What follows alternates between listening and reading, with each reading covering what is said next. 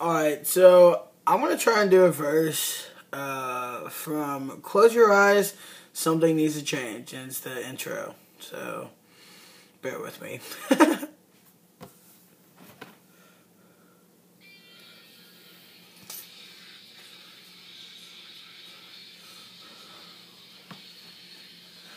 Take me to my grave!